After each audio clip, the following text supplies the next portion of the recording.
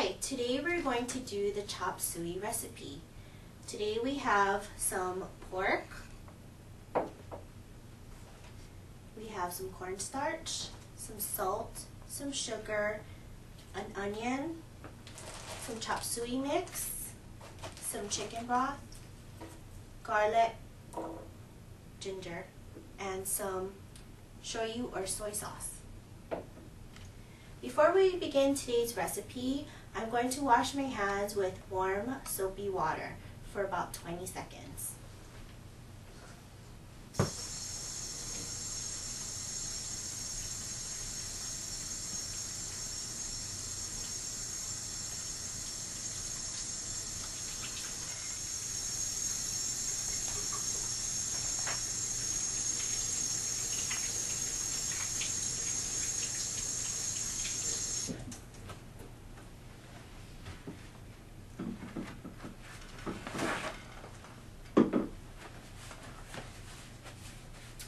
Now what we're going to do, before we actually start preparing our foods, we're going to get our can and we're going to rinse the top as well as rinse our vegetables.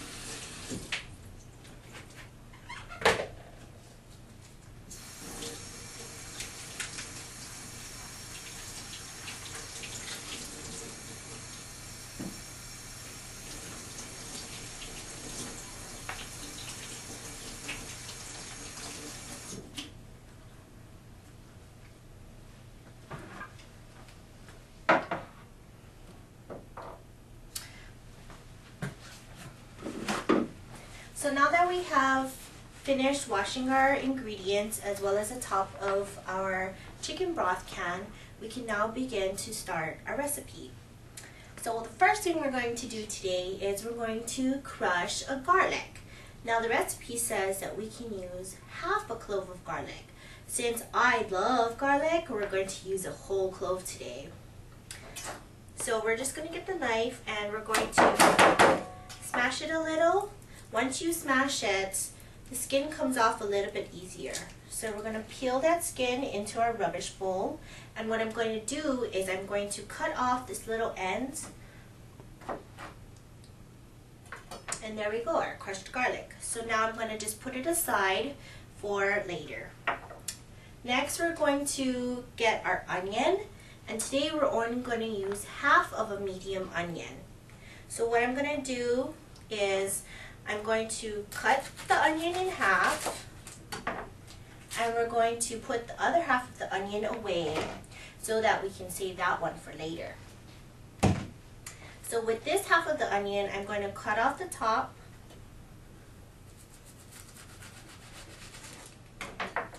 throw that in a rubbish bowl, and then peel off the top layers of the onion.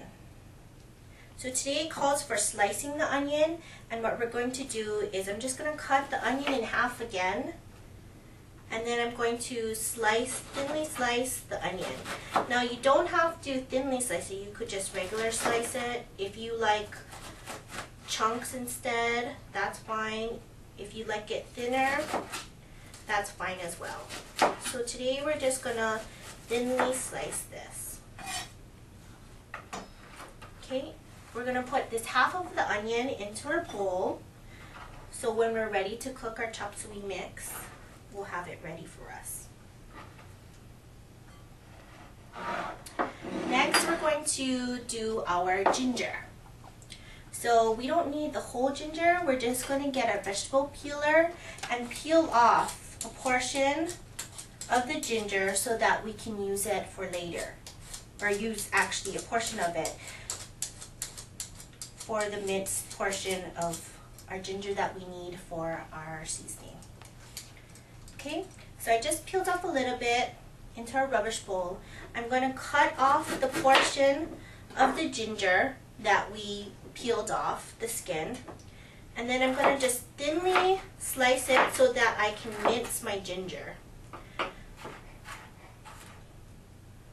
Okay, so we're just going to thinly slice it. Some people like to grate the ginger. So if you are a person who loves ginger and likes it a little bit stronger flavor, you can also um, grate the ginger. So right now I'm going to mince it. Ginger is a little bit tougher today. So put your body into it when it's a little bit tougher so you can get the small ginger pieces. Okay, you don't have to be exact. If it comes out bigger, that's completely fine. So what I'm going to do now is I'm going to scoop up my ginger and put it on the side since we need it for the sauce. Okay. Next, what I'm going to do is I'm going to get our pork. So today we have pork. You can also, the recipe also says for pork or for chicken. But today we're going to use pork. So what we're going to do is we're going to slice the pork into thinly slices. Pork is a little bit harder to cut because as you can see the slices come out a little thick. But that's fine too. You can also use um, ground pork if you would like or ground chicken. You could use regular beef. You could use um, ground beef. If you use ground beef, try to get the leaner portions of meat so that you don't have as much fat. As you can see, this pork is pretty lean. There's not a lot of fat on it. So we're just thinly slicing it. And to, to make sure that everybody has a great big bite of pork, what I'm going to do is I'm going to cut it a little bit in half. So cut the slices a little bit smaller so that everyone has a little bit portion of the pork in today's recipe. Okay. So then what I'm going to do is now I'm going to put the pork right back into the bowl so that we can have that for later. And I'm going to put away my knife and my cutting board and I'm also going to wash my hands with warm soapy water because I just finished touching the pork.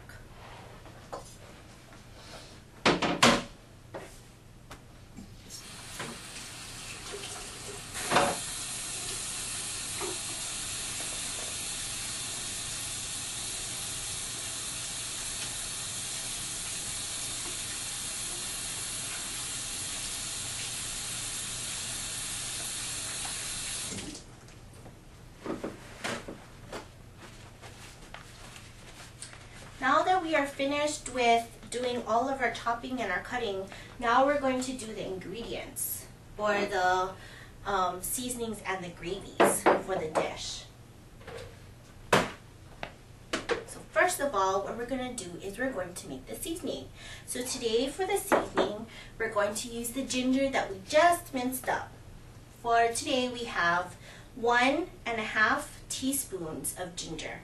So first I'm going to get my half a teaspoon of ginger and I'm going to put that into our bowl. Then I'm going to get the other, the one teaspoon and I'm going to scoop that in. Okay. Next we have one tablespoon of shoyu or soy sauce. And you can use any type of shoyu or soy sauce that you like.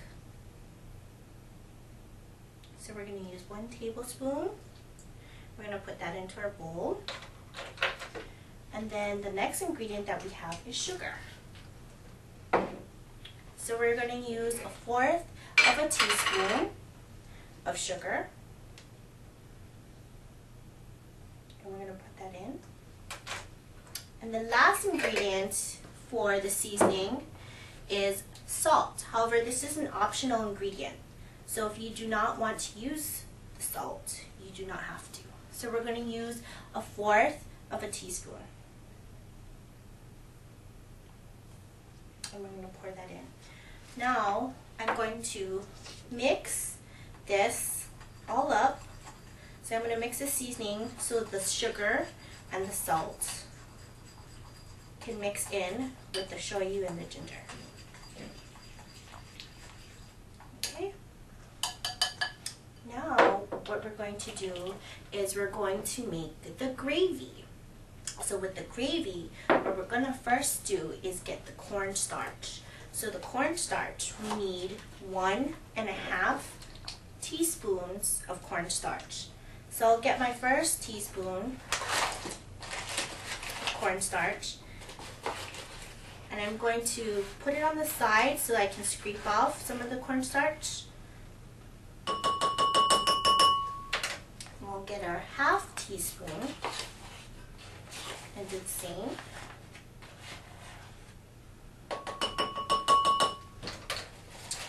Now our second ingredient is going to be the chicken broth. So what we're going to do with the chicken broth is we're going to get our can opener, open the can, and we previously washed the top or rinsed the top of the can. So now all we need to do is open it. So once the can is opened, we're going to need a half cup in our liquid measuring cup of chicken broth. So I'm going to measure it. A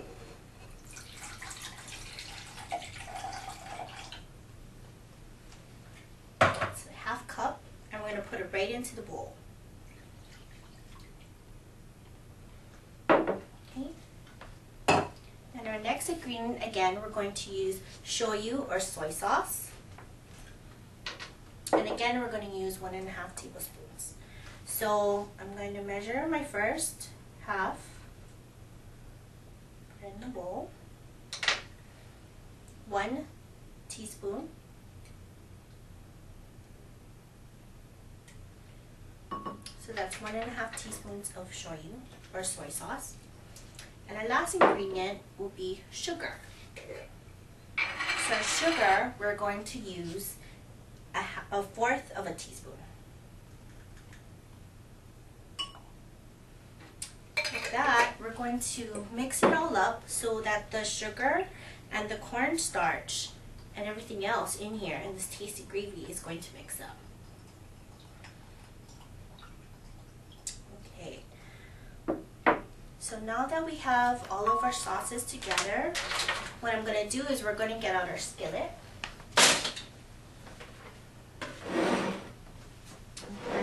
on the side.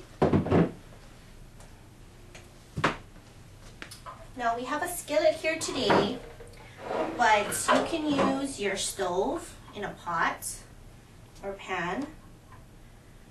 But today we have a skillet. So we're going to have that heat up.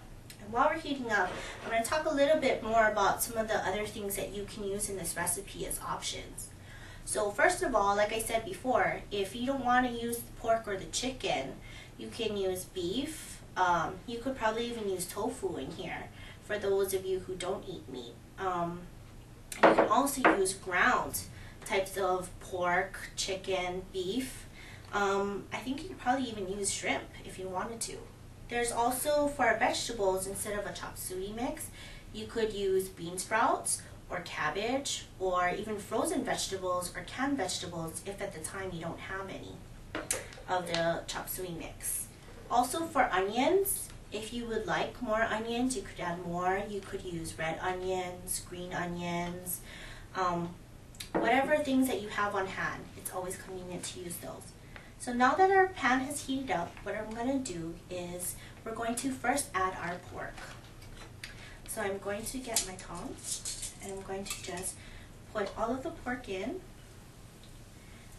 As you can hear the sizzling of the pork because the pan is very hot, which is what we want so that we can cook our pork.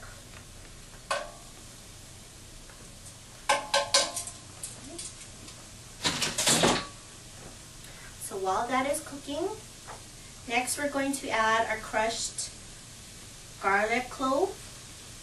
And like I said before, you can use, the recipe calls for half, but today, because I love garlic, we are going to use whole. Now if you're a true garlic lover, you can even add more garlic, which is normally what I would do at home.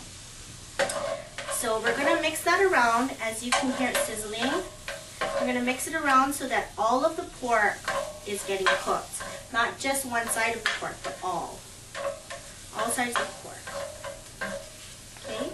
The next thing we're going to do is we're going to add the seasoning. So this is our seasoning and we're going to just throw that all in. All the delicious flavors. Mmm, smells really good already. What we're going to do is just make sure that all of the pork and the garlic has some of that flavor all together with this with the seasoning. Mmm, that smells really good. So after that, while this is cooking, we are going to add our onions. Personally, I like my onions um, a little bit finer and minced up. So that's normally how I would eat it. And because I'm also a onion lover, I also would add green onions to this. Right at the end, I think. I would add a little bit more onions. Okay, so now while that's cooking, we're going to add our chop suey mix, which is what we had already washed previously. So this has watercress, some watercress, some bean sprouts, some carrots, some cabbage in here. So we're just going to throw the whole thing in. Now if you would like to add more vegetables than the chop suey mix, and the onions, what you can do is, I like to add a little bit more cabbage in it because I really like vegetables. So add a little bit more cabbage in to give a little bit more um, vegetables to this dish. Okay, so I'm going to cook that up. And the chop suey mix looks like it's a lot for that one package, for that one package. However, once it starts cooking, it cooks down and there won't be as much. So a lot of people are always like, you know, they're telling me, wow, that's a lot of vegetables. But once you cook it, there's not that much left. Okay, so once it's cooking, the last ingredient that I'm going to put, or the last touch to our chop suey recipe, is our gravy. Now before I pour this whole set of gravy in, I'm going to mix it up one more time because the cornstarch has settled to the bottom. So we want to make sure that we get all of it because this is our thickening agent that we're going to put in here so that instead of a soupy recipe, we're going to have a little bit thicker recipe. Okay, so I'm just going to pour this whole gravy right on top. Right on top. And we're just going to mix all of that up again. Mmm, I'm getting so hungry just looking at it and smelling this delicious dish. So while this is thickening, I'm going to now get my serving dishes that I'm going to serve this delicious dish to. So we have cute little serving trays that we're going to use.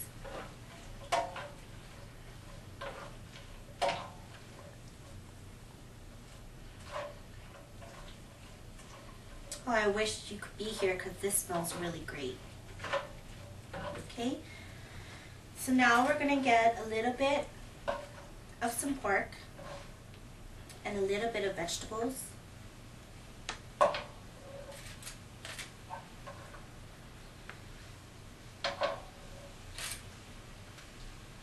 There you go, a serving of chop suey mix. Mmm, delicious.